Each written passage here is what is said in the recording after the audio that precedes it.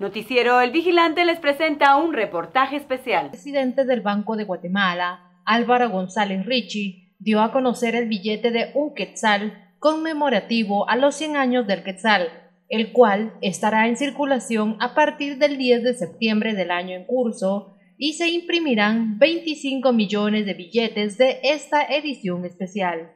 Eh, un gusto estar acá, de veras esta ocasión creo que es estar en el momento adecuado, en el lugar adecuado, es la conmemoración de los 100 años de la unidad monetaria del Quetzal.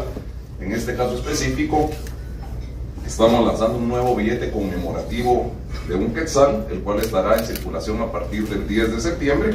El Banco de Guatemala emite su segundo billete conmemorativo en la historia de la banca central para celebrar el centenario del Quetzal como unidad monetaria.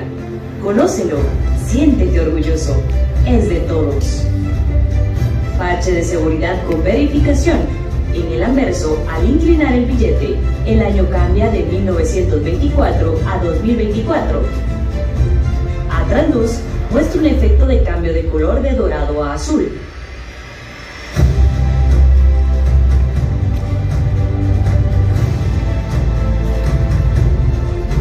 Registro perfecto de impresión consistente en la bandera nacional.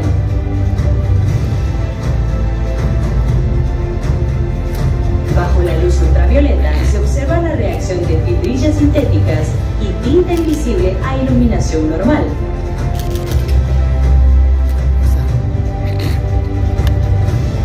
El anverso cuenta con superficies elevadas palpables al tacto, entre estas un dispositivo para personas con capacidades visuales diferentes.